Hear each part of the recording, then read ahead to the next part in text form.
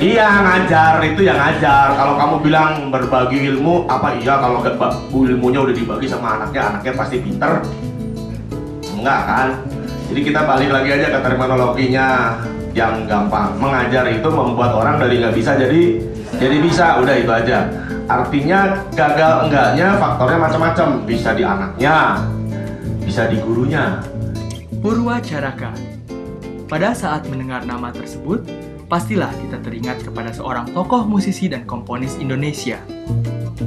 Jadi kalau pengajaran musik itu sebetulnya yang dijual sebenarnya lebih kepada Seorang musisi yang juga dikenal sering melahirkan musisi-musisi baru potensial melalui sekolah musik miliknya, Purwacaraka Musik Studio. Yamaha. Ada Elva almarhum sampai hari ini masih berdiri walaupun sudah almarhum.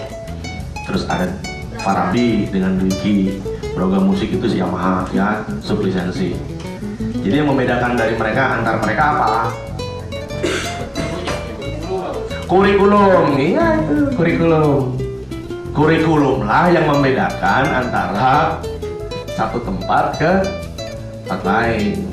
Kurikulum yang dimaksud termasuk adalah kurikulum, terus metode mengajar, ya kan? Materinya sendiri, benar? Dan kualitas tenaga pengajarnya.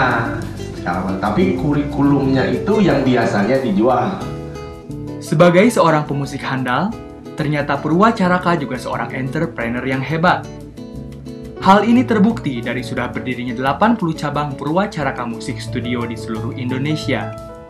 Baik yang dimiliki secara waralaba atau dikelola oleh manajemen pusat. bersifat men-share atau mempartnerkan gitu ya secara dari 80 cabang kita yang diwaralabakan secara sistem eh, kapital gitu ya permodalan itu 55 sisanya dimiliki sendiri 100% atau dimiliki bersama secara perjanjian kerjasama bagi hasil.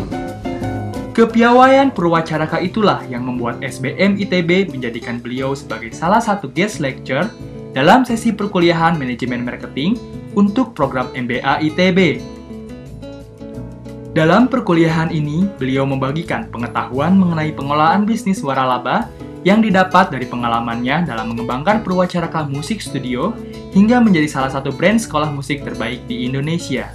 license itu sekedar menggunakan sistem tapi semuanya nggak perlu sama. Franchise lebih tegas mengatakan bahwa bukan cuma sistemnya yang boleh dipakai tapi seluruh yang ada termasuk warna ya kan?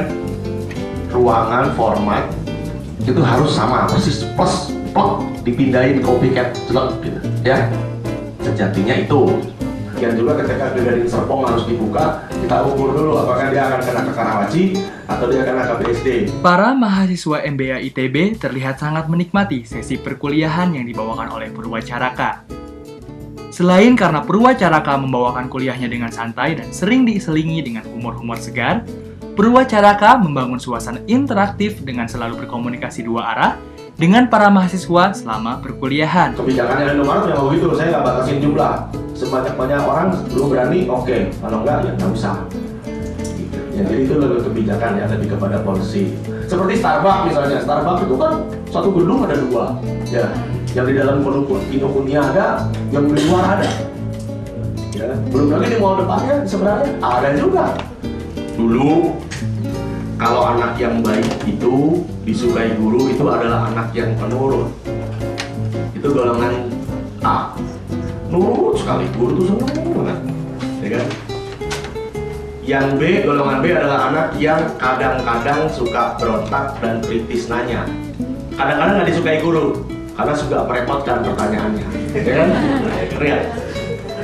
yang golongan ketiga itu adalah golongan yang sering mabal gak mabal nggak kabur. Ya orang lain di dalam diri kantin sebelah merokok anak samping. Anak samping. Gue tahu bener tuh. Tapi apa yang terjadi setelah 20 tahun kemudian? Yang golongan pertama itu jadi pegawai yang baik sekali. Ya kan? Karena penurut dari dulunya juga emang nggak tahu nurut nggak tahu takut. Ya kan? Nggak jelas antara penurut dan penakut. Ya. yang golongan dua itu biasanya jadi profesional Profesional tuh hubungan kerjanya kontrak, kemitraan, ya. ya. Yang ketiga jadi apa? Jadi bos. Jadi entrepreneur, jadi bos karena punya keberanian, punya nyali. Ya walaupun agak sedikit nekat, ya berani dimarahin guru, berani dihukum, ya kan? Berani dikasih raport merah. Indonesia yang golongan satu tadi bekerja jadi pegawai golongan yang ketiga. Nah, ya, pikirin itu ya, baik-baik ya. Itu aja dari saya. Selamat siang, terima kasih.